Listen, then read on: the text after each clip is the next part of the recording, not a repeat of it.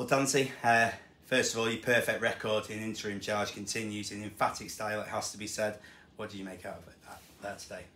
Um, the boys were brilliant again. Um, in the change room, just said how proud I am to be um, interim manager of this group of lads. Um, backroom staff, everyone who's who's helped. Mean? It's, and then I think today was a massive game. We knew that um, it was going to be a tough game. Um, but like I say, the attitude and application of everyone involved today, and that's not just the players, that's all the staff, um, the the detail that's gone into planning for this. Um, I've had so many messages from the staff with highlights. I think I've, I've watched Lee way too much now. but do you know what I mean? That's that's just credit to everyone involved. What pleased you most today, other than of course the result? Um, I think for me it was just that application again. It's just it's it's unbelievable. Uh, every game we keep coming into and we say we've got we've got to improve on the last game, got to improve, and the lads are just doing it. And that's not just today. That that comes from training. I said training on Thursday. I went home and I, I thought to myself, this group's got so much energy, so much like vibrance around the place, and and I was I, I sort of knew this was coming, this performance today, because the signs were there all through the week, and that's a credit once again to the players and the staff, just for ev everyone keeping that that sort of togetherness, and you you, you can feel it, and then.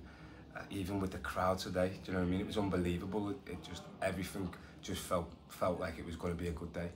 I'm going to put you on the spot a little bit now. Mhm. After the Hanley game, Mhm. you said that yourself and Duffs rated it as a 6 out of 10. Yeah. What did you rate today?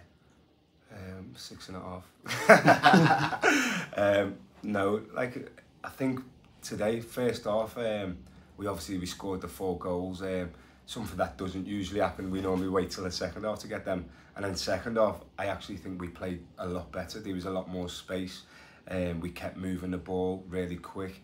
Um, but I, I think, like I said last week, it comes down to um, what we do in the first half. And luckily, we got the goals with with the moving the ball in the first half, and that sort of, I think the game was probably you'd say done at half time, but we didn't stop. We it wasn't for the ones of trying to score more goals. We had chances in that second half. Um, so as long as we just keep doing what we do, um, I'm happy. It's a bit of a weird one in a way, wasn't it? Because as you've just alluded to, you said that arguably we played better in the second half, but up until we scored that first uh, first goal, Yeah. it was a fairly even game, wasn't it? Yeah, definitely, and we expect we expected that the second in the league for a reason. So we knew that it wouldn't just be a, a, a walk in the park. We had to earn the right to get them four goals, and I think we did that. It was a tight game at the at beginning. Um, they were giving as good as the, as as they were getting. Um, but like I said, if we just keep doing the right things, which we keep hammering into the boys, then we always feel that eventually uh, we'll come out on top. And that that the main foundations of that is the work, the work rate, the intensity, the closing down, um, not just going half-heartedly. Everything has to be full. Do you know what I mean? And the boys did that. And then I think when we when we put that much effort in, the other team seems to wilt. Um, they just don't seem to be able to keep up with us for the whole game. So um, as long as the boys keep doing that application, I, I just keep smiling because it, it, they have they have honestly been brilliant and like I said, big massive credit to all the staff. Um, Duffs has been unbelievable. Do you know what I mean? Um, every everyone involved. Um, the two Robs, do you know, in, for the encouragement. Um, I, I'm on the phone to Sav, as everyone knows, um, every day. Do you know what I mean? But I love it because I'm learning. Do you know what I mean? And we're all learning together. We talk a lot, don't we, about our goal scorers and our offensive play, but defensively today, another clean sheet. You must be so proud of that as well. yeah, unbelievable. Um, I think all the defenders at the back have been brilliant, but we when we when we talk about defence, it starts from the attack as well. And I thought Nicky Maynard worked his socks off. He didn't get the goals today, but he added so much. His movement um, for creating space for other players.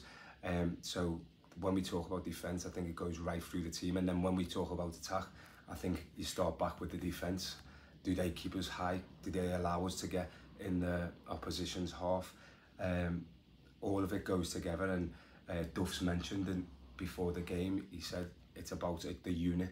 So the defence is the attack and the attack is the defence and we've been doing that.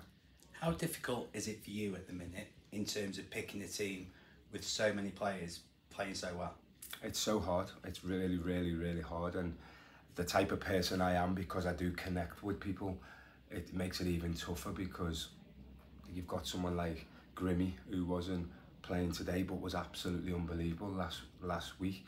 But at the end of the day, they're, they're the problems that we want. And the boys have been like unbelievable. Do you know what I mean? We said from the beginning we'll always be open and honest. We'll have reasons for why why we're doing things, and we'll give them them reasons. And the boys have been brilliant. I think they understand that every every decision we make is is for this club. It's not not to do personal.